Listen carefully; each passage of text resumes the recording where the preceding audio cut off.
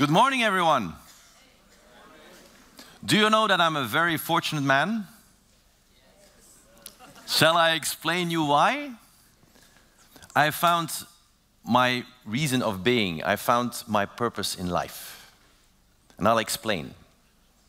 I have a job that I really love. I'm good at it, I think. And I contribute to the well being of the communities of which I'm a part. And I'm being rewarded for what I do. So, I'm a very fortunate man. Now I'm curious to discover how many of you are in a similar situation. So, if everyone can stand up, please. Let's move a bit, huh? Whoa, okay.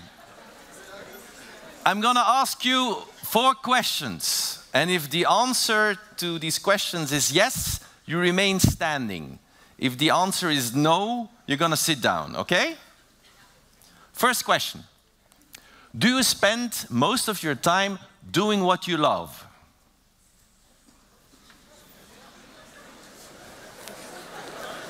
Okay.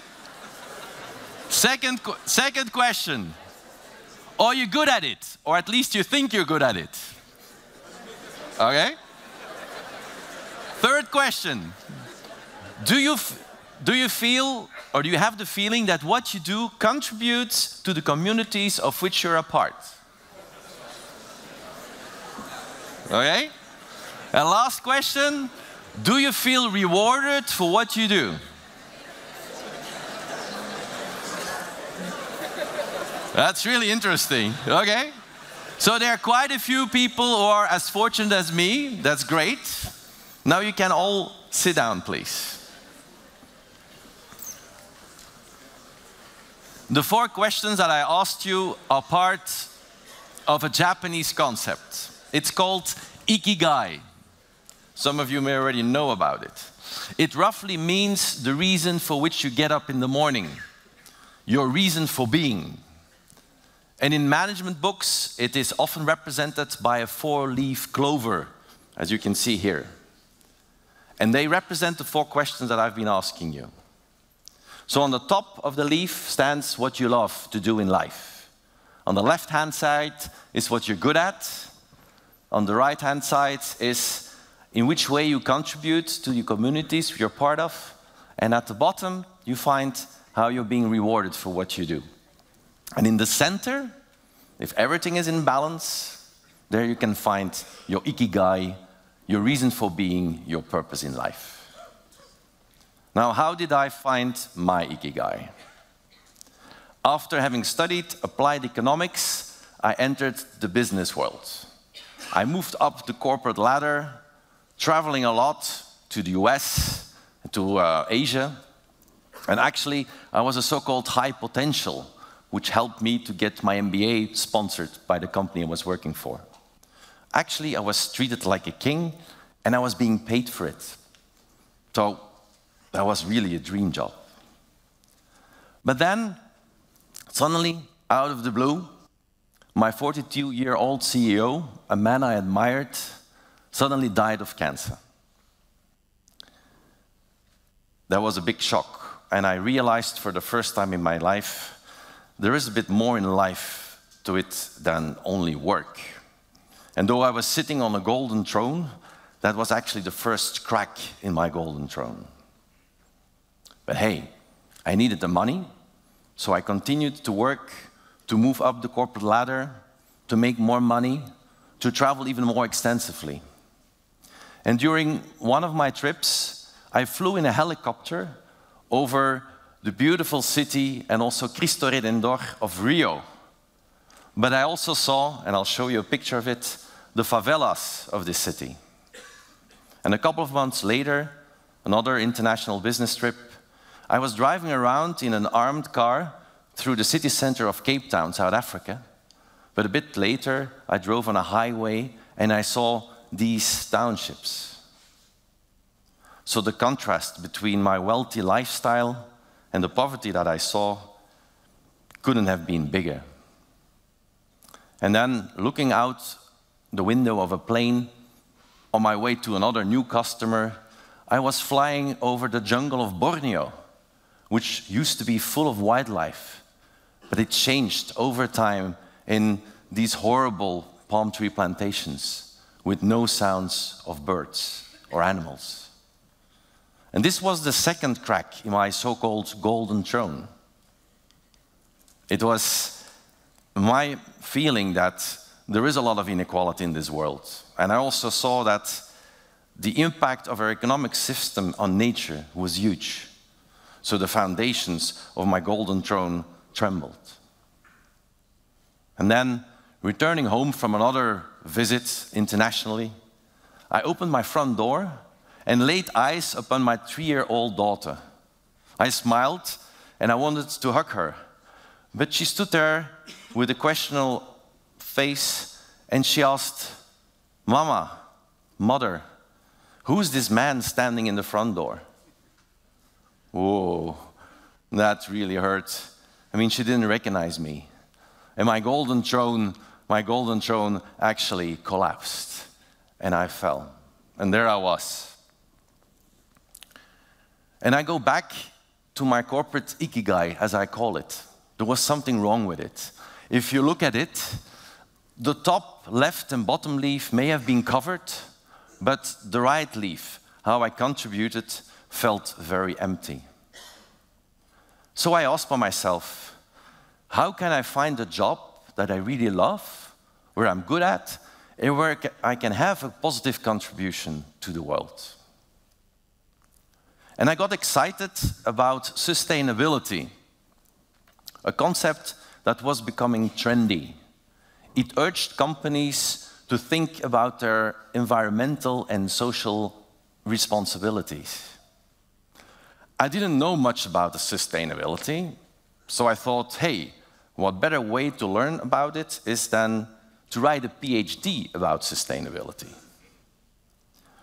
I remember my friends and family saying that I was crazy, quitting a well paid job, leaving an international successful career behind me to write a PhD, which would lead me to, I didn't have a clue. But still, I wanted to do it. So, in order to make a living, I applied for a teaching position at the Karel de Grote University here in Antwerp. And I started giving workshops. And slowly, almost accidentally, my ikigai moved into balance. I call it my teaching and facilitating ikigai. Actually, what I was doing is I was enjoying my teaching and giving workshops about topics that really matter to me sustainability and diversity. And I was using my social and communication skills. And I was inspiring youth and people in workshops to look for a life where they could make a positive impact on what they were doing. And actually, I had more time to spend with my wife and my kids. And I made a decent income to support my family. And at the same time, not financially, I got a lot of positive feedback from both my students as the people in the workshops. So by moving into teaching and facilitating, I found my ikigai, my purpose in life. And today, in my classes and workshops, I help people to find their ikigai. Does my story end there? No, unfortunately, it does not. There is something else that matters a lot. Why is it that in quite a few of the portfolios of my students, I read that their true passion in life is arts or music and not international business, the field of their study? Why are there almost half of the people that I meet in companies, they tell me that if there would be such a thing like a guaranteed basic income, they would quit their jobs and do something else. And why were there so few people still standing after having asked these four questions? I realized, and I go back to uh, my ikigai that the global ikigai of our society is out of balance. And this is because our society focuses mainly on the bottom leaf of the ikigai and not so much on how you're being rewarded, but mostly on what you can be paid for. And this happened because we made from our society a society of consumers. I'll explain you why that happened. And I will show you and read with you a quote of Victor Lebow. It's a long quote, but it's an interesting one. Our enormously productive economy demands that we make consumption our way of life, that we convert the buying and use of goods into rituals, that we seek our spiritual satisfaction, our ego satisfaction in consumption. We need things consumed, burned up, replaced, and discarded at an ever accelerating rate. His advice to the American government in 1955 made that we turned our society in a society of consumers and no longer of human beings. And since we put consumerism by design into the core of our economy, we mainly reward those jobs that contribute to more consumption sales, marketing, lobbying. And there was little or no money left for social, cultural, or really meaningful activities. The result. The result is that many students choose studies that they do not, don't really love, often pushed by parents with the best intentions.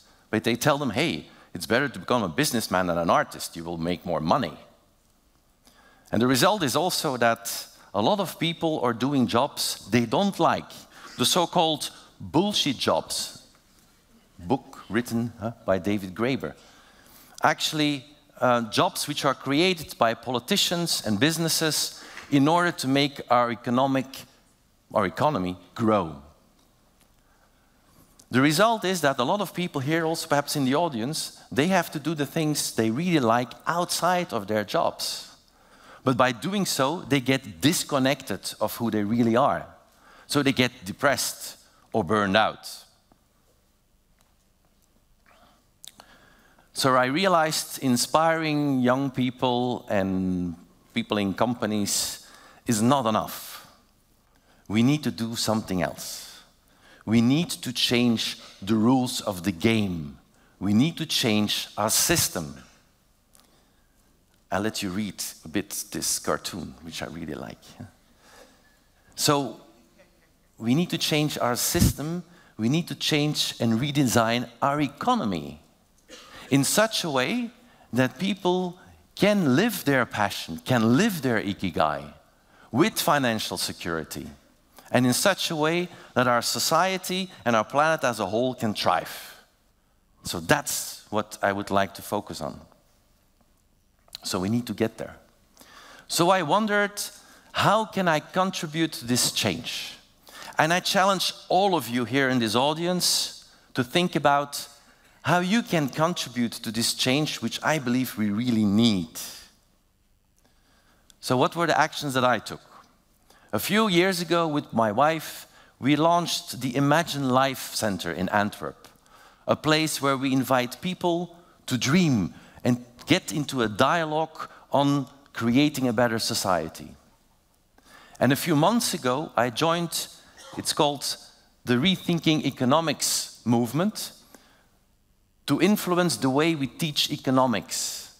The idea is that we should bring in more sustainable business models in our curricula and not our current economic model dominated by production, consumption, and growth.